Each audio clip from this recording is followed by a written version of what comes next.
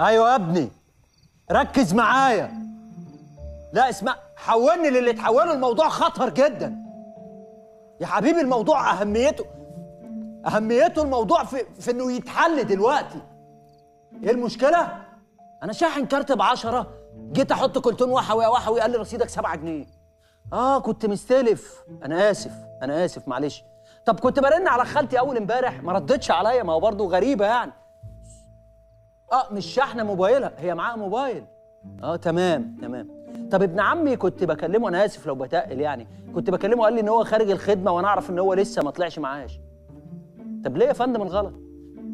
ألو؟ ألو؟ طيب يلا لا إله إلا الله. حبيبي لو عايز تحكي كلمني. سلام.